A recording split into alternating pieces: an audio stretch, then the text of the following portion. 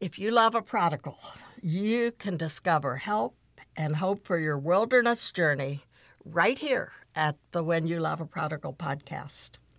And also help and hope for your own life journey. And today, you are really going to get help and hope because I have here in the studio with me two wonderful people. And if you've listened to the podcast before very much, you may have been uh, listening to them separately. Dena Yohe has been with me once where we talked about how you survived the holidays with a prodigal, and we played it again this Christmas. And then Tom Yohe, her husband, uh, had a book come out this past year, and so he came and talked about that book. It's called Moments of Clarity. And so you might hear some about that while we're talking, but what we're really going to do is find out about the ministry that God has given them called Hope for Hurting Parents. And so Tom and Dena, welcome again to our podcast. Thank, Thank you, you, Judy. Thank you for having us. And I'm excited. We've been studying, sort of, in our podcast the last few weeks about treasures mm. to be found. Mm-hmm. On the prodigal journey oh, in yes. the wilderness. Yes. And and so you will give them some new treasures, mm. I'm sure. so let me tell you a little bit about them. Uh, they, um, well, they've had a, a, long, hard journey. And they've had a daughter who uh, had some struggles, and um, and God has redeemed it in very special ways. Mm-hmm. Um, they might also say the journey isn't over till maybe you get to heaven because things keep happening and stuff. But they um, have done a beautiful job of letting God take the hard things in in their journey and turn it into blessing for a lot of other people. So, uh, I would love to have you all just first of all uh, give us an overview of the journey and what led you to where you are now. Well, when we began a journey with our daughter, I was young. She was young, and as she got older, it progressed. And I remember just being so ignorant regarding a lot of the things that she was struggling with. I had never heard of some of the things. She was a, a self injurer, and that was so foreign to me. And then as she moved into other things, I just felt lost and confused. And I didn't know which way to turn. We didn't know other families that were experiencing this when we were experiencing it with our daughter. So it was very isolating. And, um, you know, I want to try to fix things and that was not Don't helpful. we all want to fix things as fast as possible? I couldn't find the fix at all. Mm-hmm. I had no idea how to how to go, where to go, and how to start. Mm-hmm. And uh, so it was very, very uh, tough mm-hmm. part for me. We went through years of her being um, in and out of um, rehabs and uh, hospitals in the psychiatric ward. A very, very painful and frightening journey. In fact, you didn't even know where she was sometimes. Correct. Yes. That's so frightening. Terrible. Mm-hmm. Really scary. Mm-hmm. So, how did you get to where you are from that? Well, it actually started when um, I discovered something called Prayer for Prodigals. Um, because we were on staff with Cru and we were desperate for resources and I didn't know where to turn. I didn't know who I could talk to, who could understand. And I discovered this wonderful website where I could post my prayer requests. People would send messages back to me, and I didn't know how to pray anymore other than God help, save my daughter. And there were prayers I could use for my own and devote. It was just a, it was a treasure. It was a great resource. And through that, I got to know you a little bit, and just kind of one thing led to another, where my heart began to grow for other parents that were suffering like we were. That's kind of where the seeds started. And then we went to a conference for other hurting parents, and I discovered we weren't the only ones. and up until then, we didn't know anybody else being in full time ministry who were going through anything like we were. That might be because they didn't let anyone know. Exactly. they were hiding, just like we were, ashamed and embarrassed, and we didn't want anybody to know. Um, unique to us, our story went public rather early on um, after our daughter was in her first rehab. Um, she was even interviewed on NBC Nightly News. So we didn't have to hide anymore. and as people would hear about what we were going through, uh, because it was out in the open, they began to come to us for someone to talk to. Someone, oh, at least you're going through what I am. And it just kind of mushroomed from there to seeing how God could use me, even in my pain and suffering in the middle of it, to encourage somebody else. Um, so it was just over time that as we met more and more people, we developed more and more of a burden to do something about that. So we attended some uh, well-known 12-step programs, mm-hmm. uh, anything that we could find in the community uh, that would give us some support. And we found a wonderful program that was uh, community-sponsored. We attended that for a year. And after that time, we just felt like these groups are good and we gained a lot from them. But we wanted to bring in scripture, we wanted to bring in prayer, we wanted God to be more than just the God of our understanding. Yeah. And um, so we thought, why don't we start a support group in our home? And so that's what we started to do, and we incorporated the best of the other groups and added in what we felt was missing as Dena was blogging and uh, sharing some of the things that were going on in our group, other parents began to say, "We don't have anything like this."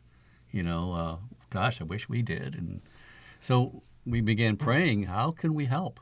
What can we do to, to help these parents? So we came up with the idea of writing a facilitator guide and a parent notebook that at least if, if, if somebody felt led to step up, they would have some tools to do that with. Mm-hmm. That sounds like a great idea. it took us a long time to get to that point. I think it was a couple years of working on ourselves before we felt like we had enough emotional health and sanity to start that first support group in our living room. And then it was six or seven years of doing that before we ever put this material together to give to others. Yes. It's a long process. So, what helped you the most in growing um, and getting to the point mm. where you could do that. How did you begin to feel you had something to offer? Mm. Well, as time went by, and of course, some of the, the things that we gained from these other, other groups, groups uh-huh. uh, the, the, vulnerability, uh, not isolating, uh, finding other people that were um, which they can carry or support you in that journey because they're going through similar things mm-hmm. themselves. Mm-hmm. So finding other people who are with same struggles, those were all very very helpful and supportive. And I think as we constantly praying, you know, as we went through everything with uh, her, God began to do things in our lives. You know, I realized how proud I had become uh, and so God was working on humility in me. He was working. He works on all of us on that. yes, yes. Different uh, ways. yes. Um, more compassion for people who are hurting.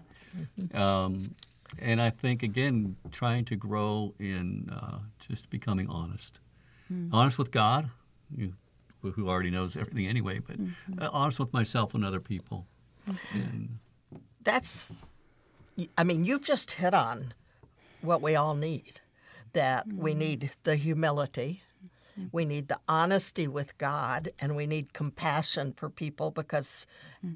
everyone's on a journey. Mm-hmm. And it may not be the same journey that you're on, but mm-hmm. it's to, to recognize those things and let God do that work in you so that you then can be of help to other people. Yeah. Mm-hmm. One of the other things is it was something totally unexpected. As we did our group and as we experienced things in, in the other groups, we saw people's lives change. Mm-hmm. You know, they had a hard time maybe seeing it, but we could observe it in them. Mm-hmm. And we can see them become different people than when they mm-hmm. first walked in the room. Mm-hmm. And so it it began to stir, I think, the, the privilege mm, mm-hmm. of being involved in people and, and, and their pain and their journey, but also being able to observe God working in their lives and bringing about the change, the mm. transformations that uh, are just marvelous. Mm. I like that. So I have a question that's kind of an insert here. Um, were you all together on this all the time? Because this is the kind of thing that causes divorce. Mm-hmm. We've seen a lot of that too. Yes, it can either destroy your marriage or it can make it stronger. Fortunately for us, it made it stronger. We knew, well, Tom had learned years ago when he was in college from a professor that when you're under a crisis of any kind, to guard your marriage. Tom, you want to share a little about that? Yes, there was a statement made when I was young. I was single. no real context for that statement. but it's marvelous the way God brought it back mm-hmm. decades later. Mm-hmm. And so it was one of the first things that I that God kind of nudged in my mind. Hmm. You know, you have to guard your marriage. You don't want the enemy to get two for one. you know, uh, mm-hmm. what if Renee gets healthy? What if she does return and we're the mess?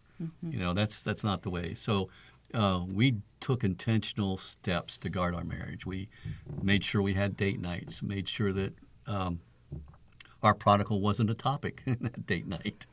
Uh, we, That's hard. Very hard. yes. it's got to be a no prodigal zone, we called it. And wow, that's tough. Yes, yes.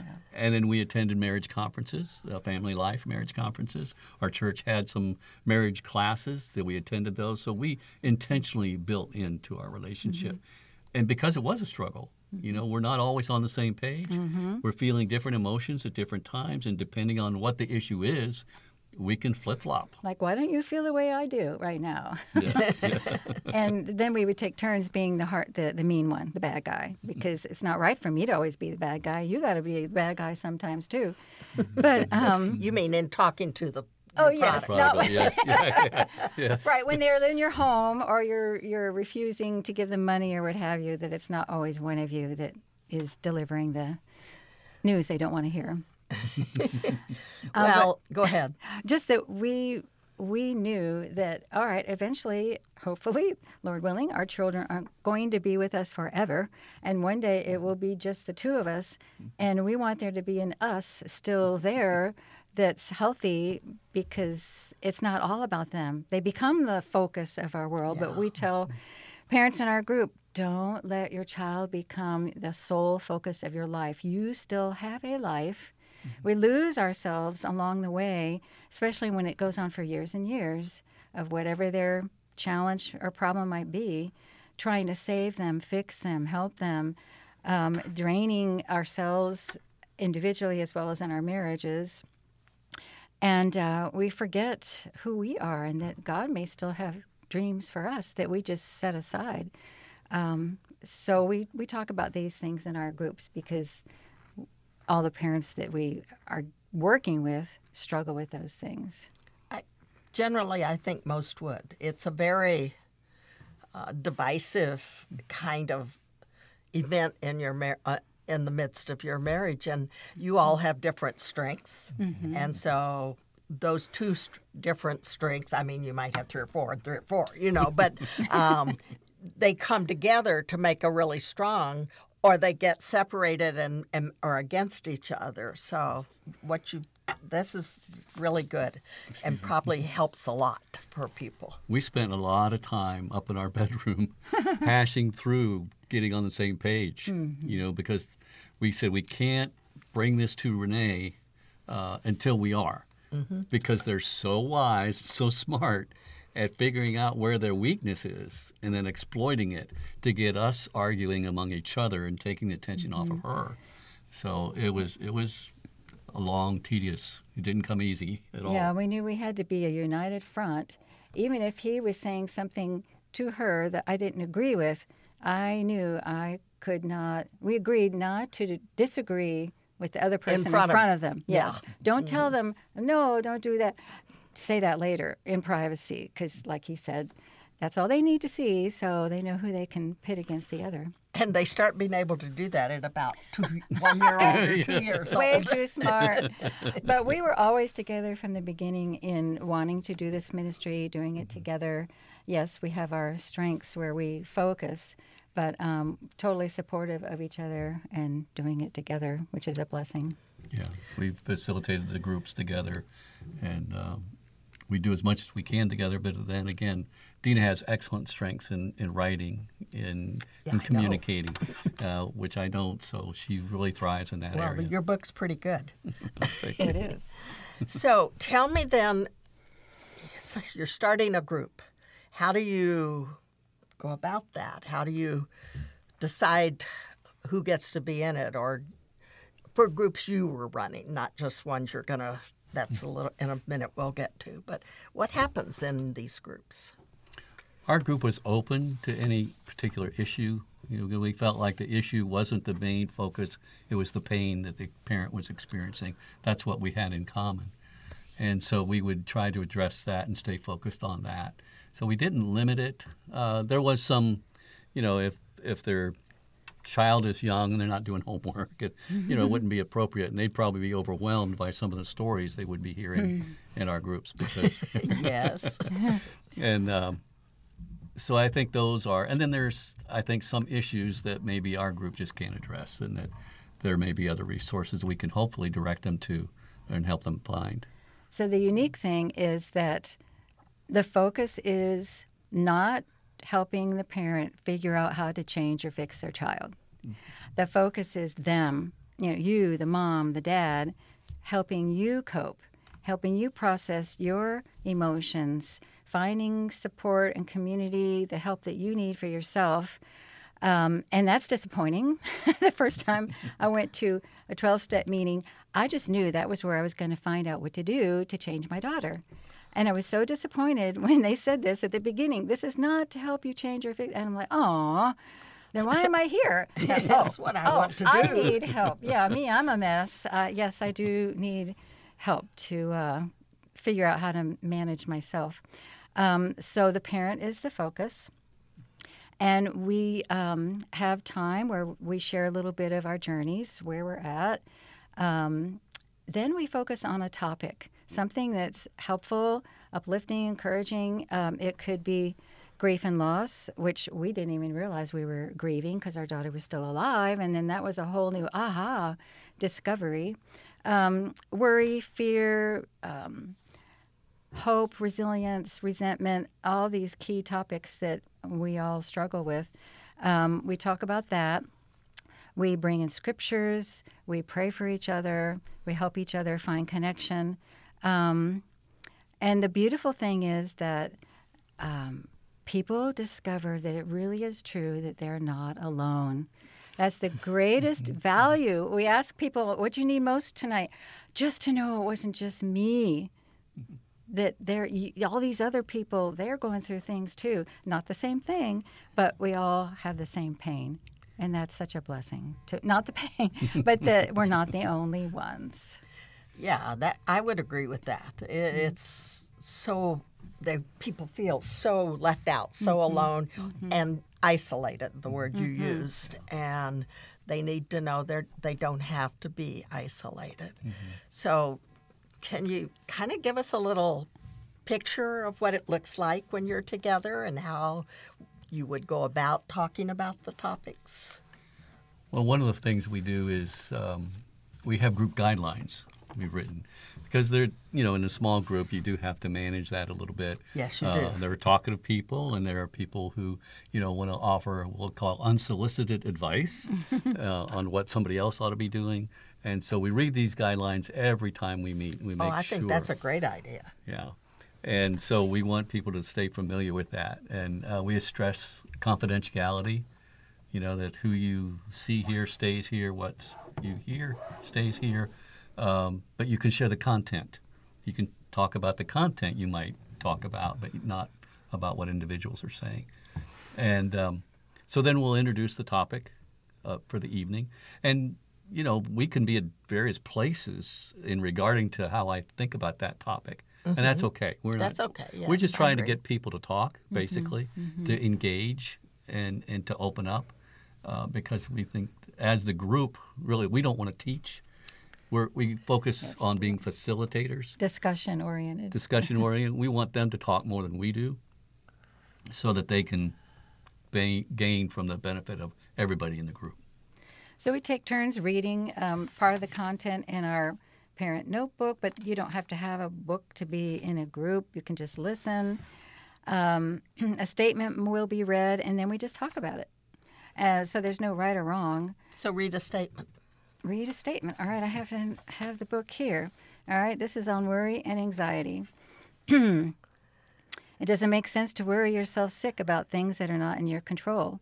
Worry gives a false sense of control over something we can't do anything about.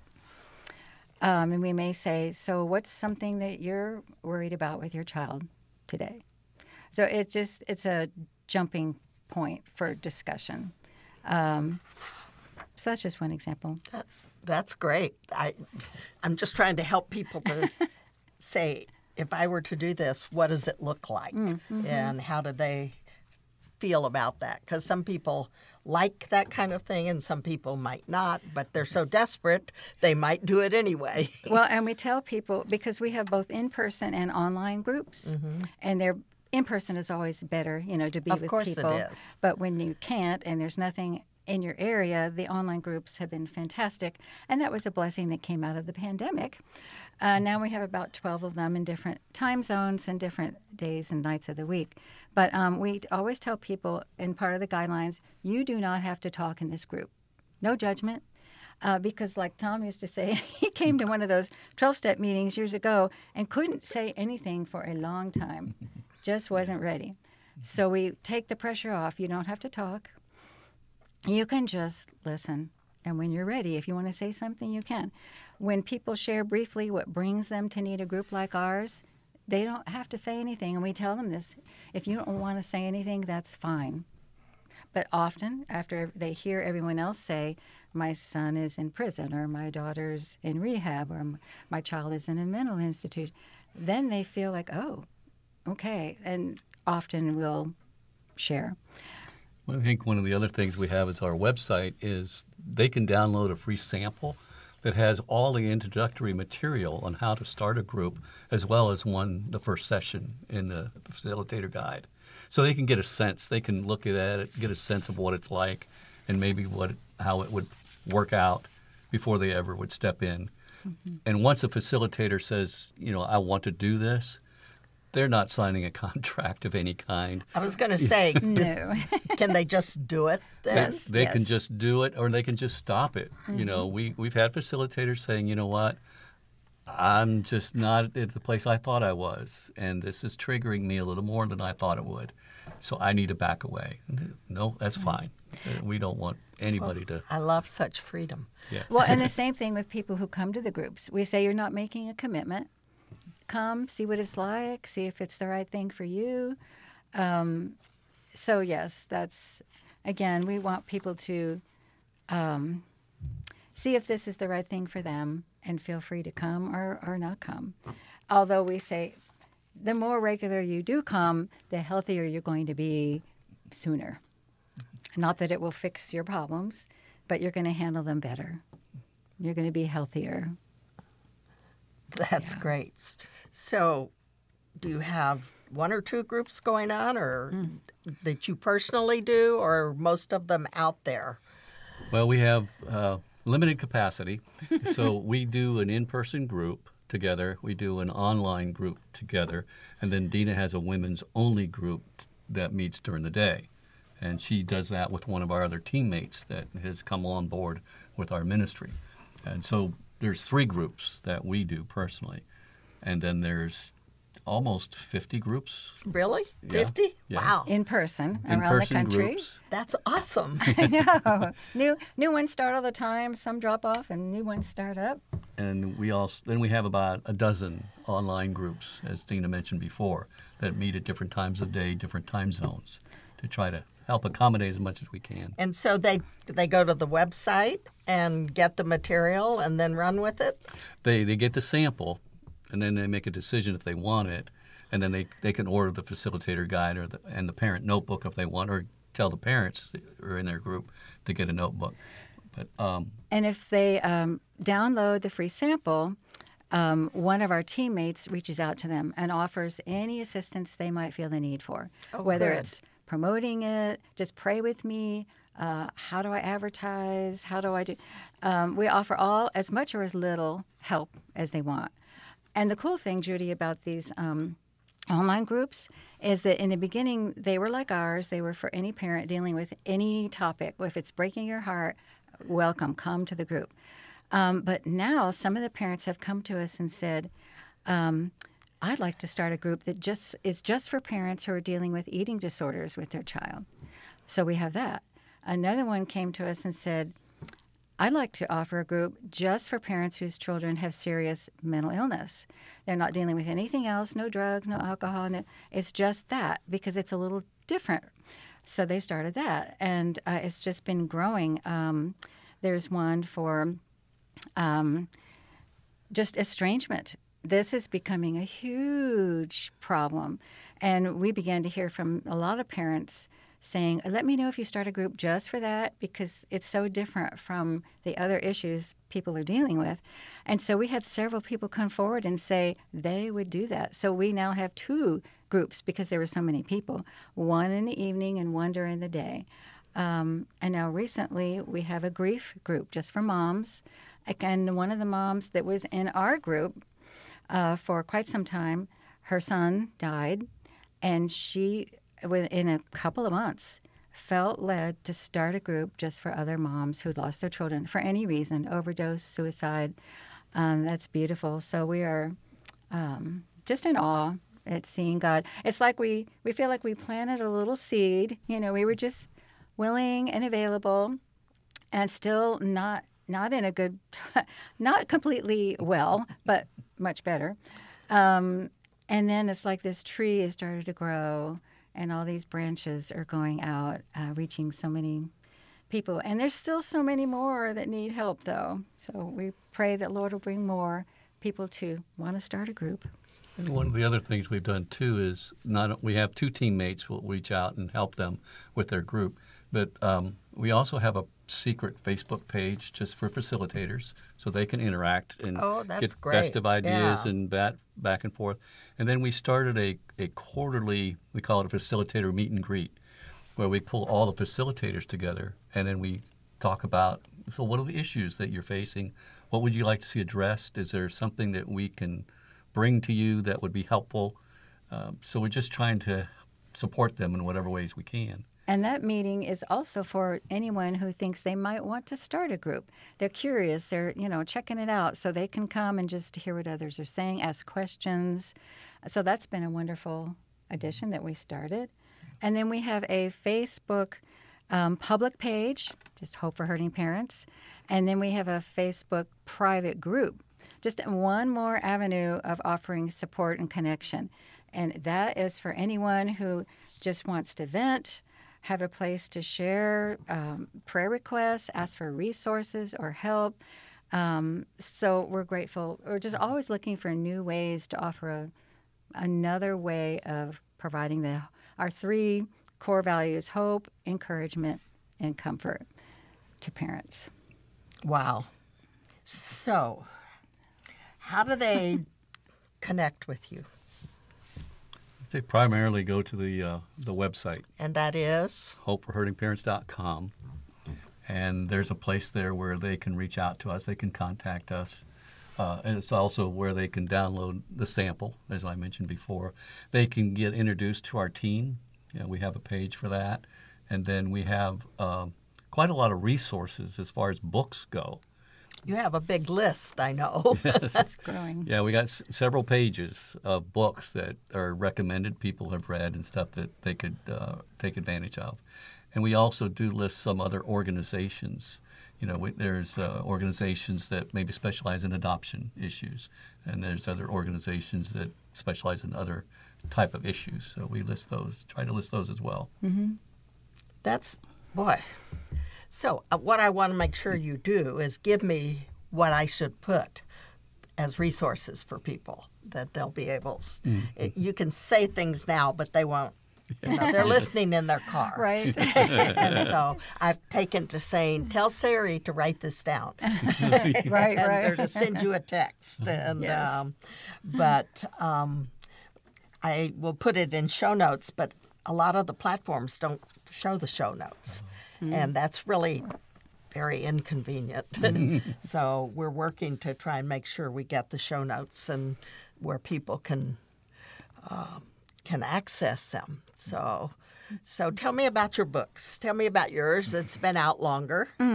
Well, I never dreamed I would write a book.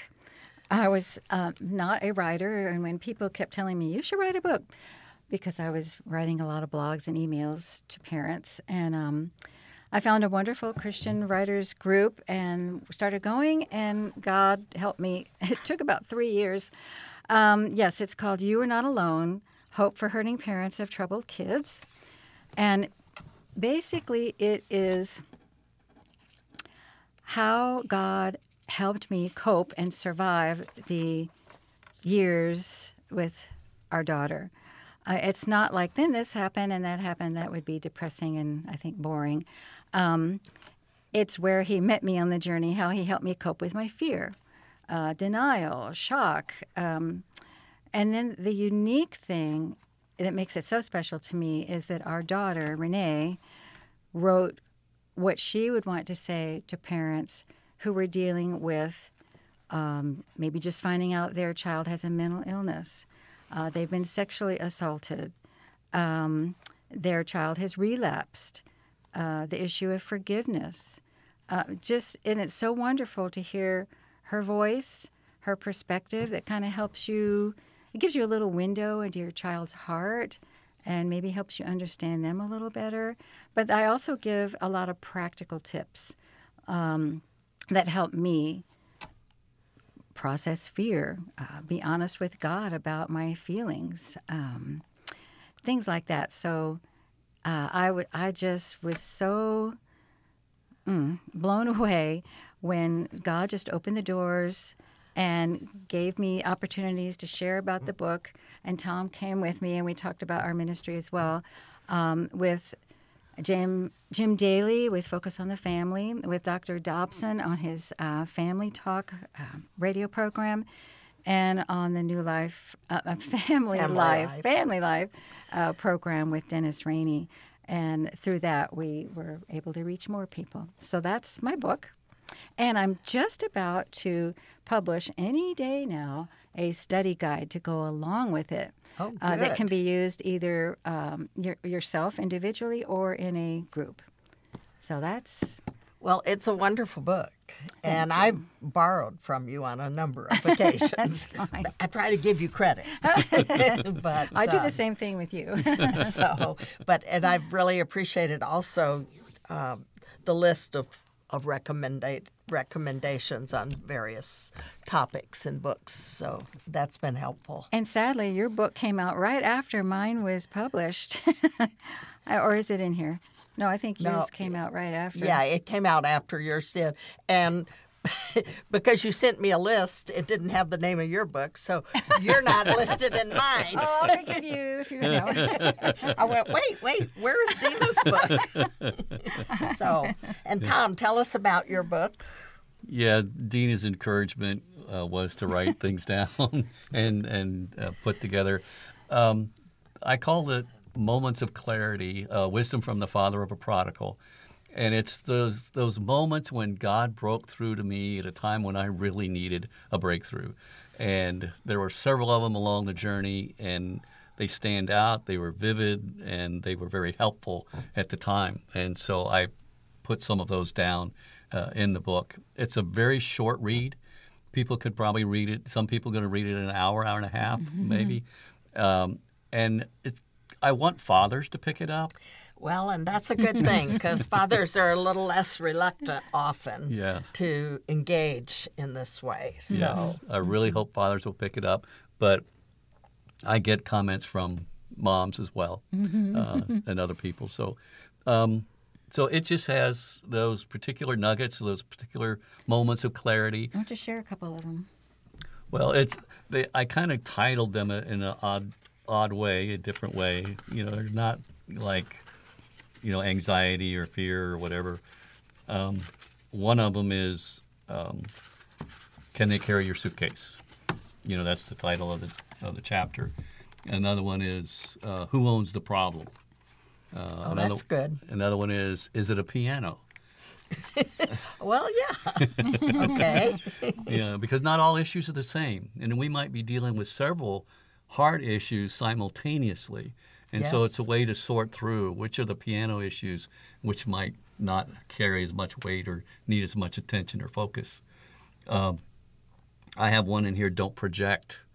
You know, I got so used to interacting with Renee and just responding to her that when my younger daughter, who wasn't anything like Renee, came to me and I, I just, who was going to be there? What will we be doing? Were there any guys at there? You know, and she says to me, Dad, I'm not Renee. I go, oh, wow. Yeah, you're not. You don't deserve that. You know, you've earned, you've had plenty of opportunity. You've earned trust and stuff. So, yeah, so I caught myself on that one. Um, another one is that uh, why do you keep talking to somebody who's not listening? I kept wanting to say the same thing to her over and over and over again. And I thought if I said it louder, Yeah. maybe it would work better. Or if I said it with more emphasis or whatever. Or with tears. Or tears. anything. And I, w- I just knelt down, you know, in my bedroom praying. I said, God, why, why can't I get through to her? And he goes, Why do you keep talking to somebody's not listening? you know, and kind of like close the mouth, open the ears. and then, so, you know, almost right after that, a in, and why aren't you talking more to the one who is? You know, so I go, Yeah, Lord, I need to carry these things more to you than I am to her because she's tuned me out already, but you haven't. So, That's great. That's great. So we will be putting uh, in the show notes um, listing of your website and some how to get engaged with you. Um, and we're going to give away a couple of copies of each of your books. Thank you. And listeners, don't you want these books? it's really hard to give away things on on podcast I've discovered. but we're trying again. So but before we close, can you just what's one major thing? I know there are many. What's a major thing that has really helped you that you could share, each of you? I think the main thing can I can summarize it maybe in one word: relationships. Guarding your marriage, taking care of your other children, um, finding out who you who are safe people to journey this journey with, uh, relationship with God, you know, and and keeping relationship with your prodigal. You know, things may be rough, you may be battling, but if they always know that they can come home, they they can return. You know, the door's open to them. Uh, so relationship, I think, is the key word I would use. I love that. And I would say that God will be with you no matter what happens. Uh, you're not alone. I know we said it earlier, but that was what I held on to. That even if the outcome wasn't what I wanted, and I knew there were no guarantees, that He would help me. Deuteronomy 33 27 is just a, a, ah, a verse I really love. It's the eternal God is your refuge, and underneath are the everlasting arms. And I encourage parents that his arms will never let you go. That's encouraging because the journey can be long and Yes. unpredictable and Weary. and it certainly has been for me. I would throw in my verse that I always hold on to, and that's from Isaiah 60 22, hmm. when it says, I am the Lord. Hmm. In its time, I will do hmm. this swiftly.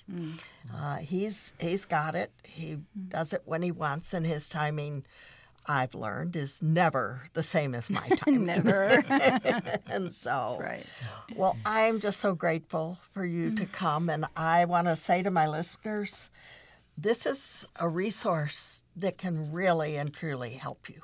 And um, I would encourage you to, to check out uh, the website and see what is offered there and see if you can find a group or start a group or just join one of theirs to in order to have some people who are in a similar place and wanting to to find solutions but recognizing the journey is not often quick it, it, usually takes time, and it's really good to have travel companions mm-hmm. when you're on a long journey, mm-hmm. especially a long and difficult journey. So, mm-hmm. thank you, Tom and Dena.